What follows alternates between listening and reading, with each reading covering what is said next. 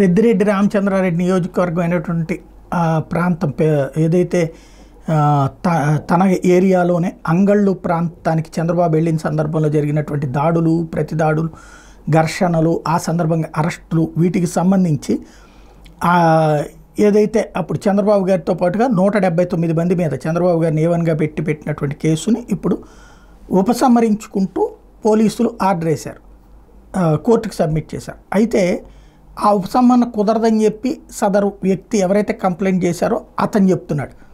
ఇప్పుడు అతని మీదన పోలీసులు సీరియస్ అవుతున్నారు. అంగళ్ళలో నాడు వైకాపా నాయకులు దాడులకు పాల్పడి నాలుగు రోజులు ఆలస్యంగా తప్పుడు ఫిర్యాదులు చేశారన్నది పోలీసులు తాజాగా చెప్తున్నటువంటి ఆరోపణ కోర్టుకి చెప్పినట్టు ఈ ఘటనలో ఏవన్గా చంద్రబాబు పేరు నమోదు చేస్తే ఆ తర్వాత వరుసగా మాజీ మంత్రి దేవినేని ఉమా పలమనేరు మాజీ ఎమ్మెల్యే అమర్నాథ్ రెడ్డి ఎమ్మెల్సీ రామ్ గో రామ్ గోపాల్ రెడ్డి మదనపల్లి ఎమ్మెల్యే షాజహాన్ బాషా మాజీ ఎమ్మెల్యే దొమ్మలపాటి రమేష్ పీలేరు ఎమ్మెల్యే నల్లారి కిషోర్ కుమార్ రెడ్డి గతంలో తెలుగుదేశం పార్టీలో ఉన్న ప్రస్తుత వైకాపా నేత గంటా నరహరి నేతలు శ్రీరామ్ చినబాబు శ్రీధర్ వర్మ పాలిట్ బ్యూరో సభ్యులు శ్రీనివాసరెడ్డి చంద్రగిరి ఎమ్మెల్యే నాని మంత్రి మొండిపల్లి రాంప్రసాద్ రెడ్డిలతో పాటు నూట డెబ్బై తొమ్మిది మంది నిందితులుగా పేర్కొంటే ఆ రోజు అంగళ్ళకు వెళ్ళనటువంటి వాళ్ళ మీద కూడా కేసులు బనాయించారన్నటువంటిది తెలుగుదేశం పార్టీ ఆరోపిస్తూ వచ్చింది.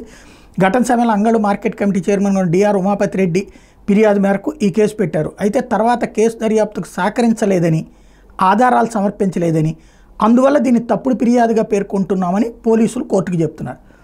ఆయన్ని ఆదివారం మదనపల్లి రూరల్ పోలీస్ స్టేషన్కి పిలిపించి నోటీస్ ఇచ్చారు. ఉమాపతి రెడ్డి మాత్రం గతంలో తాను ఇచ్చిన ఫిర్యాదు మేరకు కేసు పెట్టిన పోలీసులు ఇప్పుడు ఫిర్యాదు తప్పుడు ఫిర్యాదు అంటూ నోటీస్ ఇచ్చారు దీని మీద న్యాయ పోరాటం చేస్తానని ప్రకటించారు.